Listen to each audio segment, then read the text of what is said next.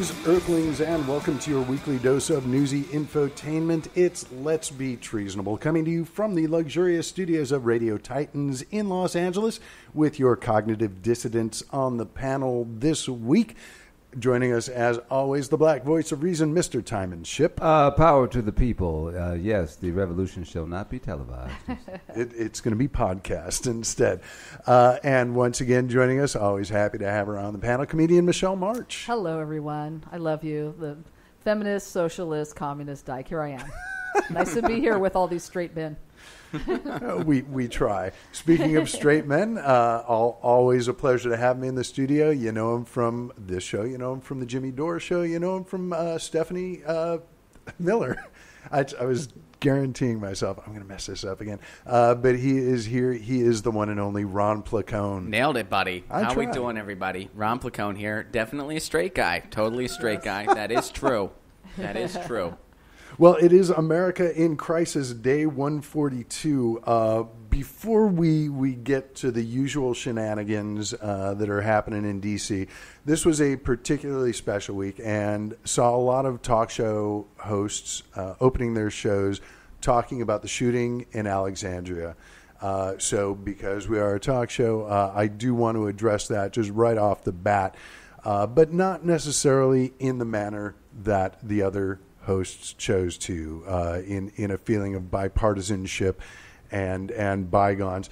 Uh, I was I was particularly irritated uh, the the day of the shooting when Speaker of the House Paul Ryan said an attack on one of us is an attack on all of us.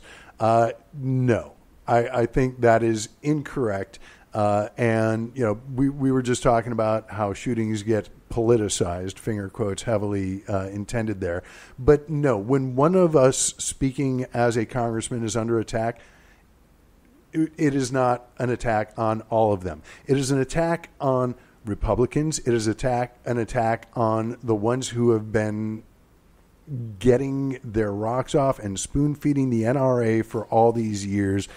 Uh, this, you you look at Steve Scalise, and granted, this guy was shooting at everybody. You know, he shot a lobbyist for Tyson, and I'm not necessarily saying that you know Big Chicken is to blame for this, but but you look at Steve Scalise, a guy with an A plus rating from the NRA, a guy who voted in favor of of loosening restrictions on transporting guns between states, uh, voted against keeping the mentally ill from from obtaining guns.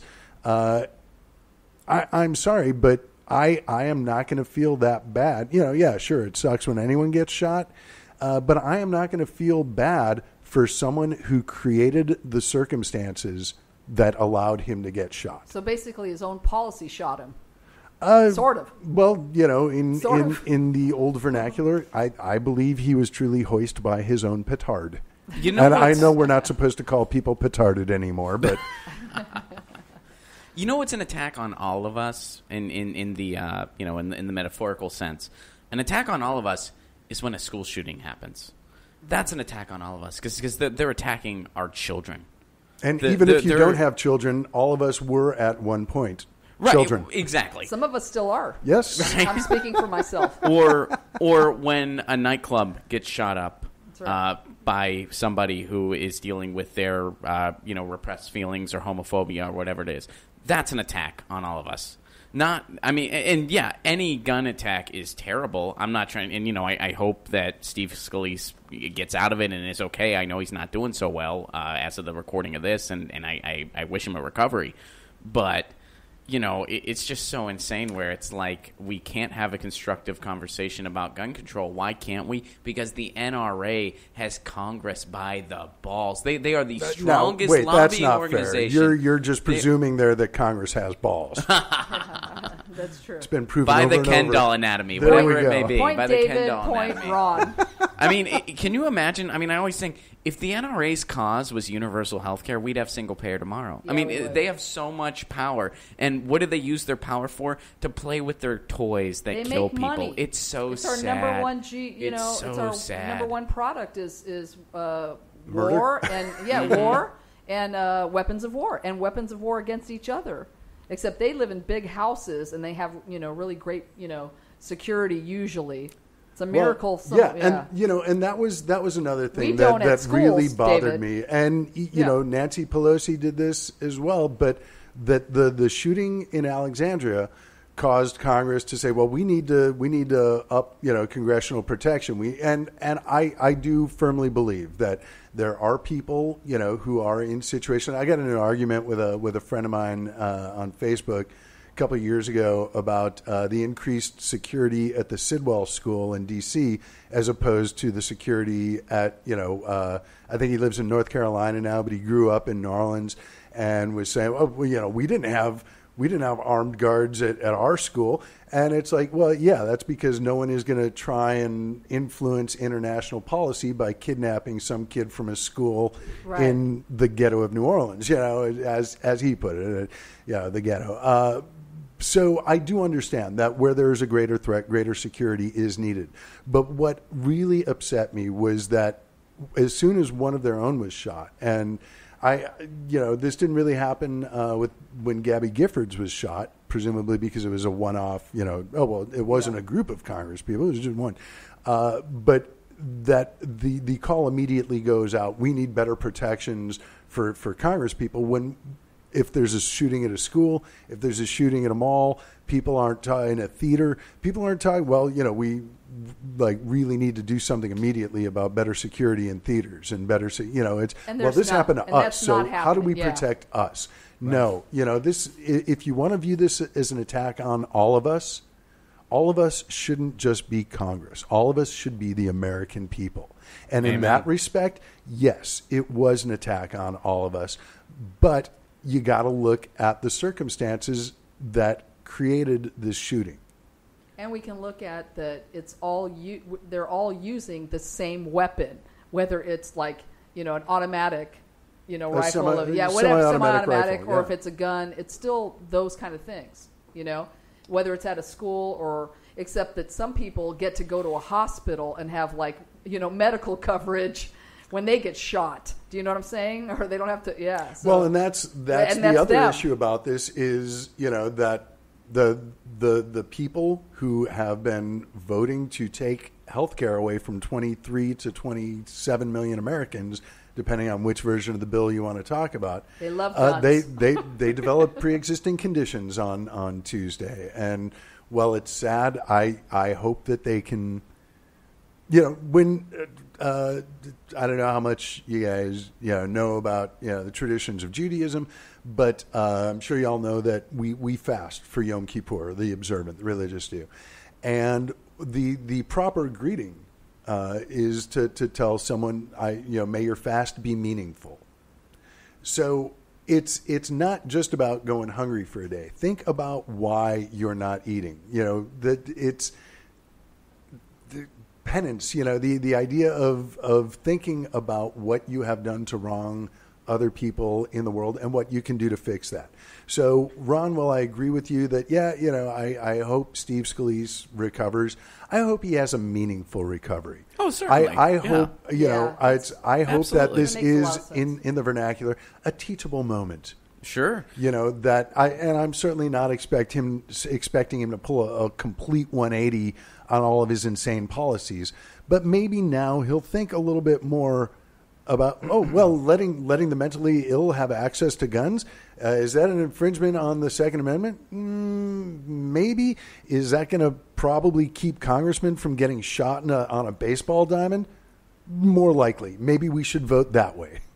Yeah, and you know, it's interesting that whenever a, a school shooting happens or a nightclub shooting happens, and, and people are like, "Hey, we got to talk about gun control," the right's always like, "Stop politicizing this situation." Then, when this happened, first thing everybody would say, "Hey, that guy was a Bernie supporter," uh, which you know, and, and and I get it. I mean, we all know that the left. We love our guns. I mean, I mean, the left is known for love. That's why we want universal health care. We want universal health care so we can shoot each other and, and get get fixed quicker. Uh, that's why. I mean, we love our guns. The left, we're known for being gun nuts. And so it was I a get brother it. and It's a, a good sister that saved his ass, wasn't it? And That's right. Not not That's just a sister, right. but a gay sister. That's right. Uh, who Hey. Speak on whose, that. Speak whose on that. rights Speak for on that. marriage uh, equality have also been voted against by Representative Scalise. Yes. So you know, hey, wow. See, we try uh, to save everybody, les- right? Black they, they lesbian 'em tried to save try to a, a you know? cracker from Louisiana. Yeah. Go figure. So hey, maybe yeah, maybe the empathy will spread. Uh, Well, I I- think I- when I people. I'm start not holding my loving people more than guns, uh, then it'll happen. Or, but you know, since they even turned uh, corporations into people, like I just think they like things better than people Well, and well, money you better got this people. whole nationalism thing going on. Also, you got folks that still want to separate themselves. You know, we, we you know, if we keep saying that this country was built by immigrants, but there are people out there who believe that, you know, no, it's it's white nationalism. It's like, no, fucker, you're a immigrant like everybody else. You're mixed with something. You're not. There are no pure anything, you know. And so when we, like you're saying, if you're going to be for everybody, then you know they say, well, you know, we, we shouldn't be uh, bombing in Syria. Yeah, well, the Syrian people wouldn't be refugees if you didn't blow up their country. They Yeah, would no kidding. Yeah, they'd be over there enjoying life like they wanted to be. They wouldn't be. Oh, I'm a refugee now. Well, I mean, if you're if you guys didn't come over here and, and drop bombs on IS, I'd probably still be at my own business like I had, Yeah. enjoying Yeah. my life. I didn't want to come to America. That's why a lot of people are saying, Right. like, yes, the, the ban is terrible, and the idea of turning our backs on refugees is terrible. But let's not forget uh, what made them refugees in the first place, and Right. address that too, because people seem to love to forget that part. And the truth is, no one wants to leave their country. Uh, people No. want to stay in there because They love their country. Right, I mean, I that's can what understand- that's yeah. what it is. It's o- only something horrible drives you from your country. Right. And then you know, Which, you- like you- you Trump, co- might drive me out of this place and, and the GOP because I just don't like them.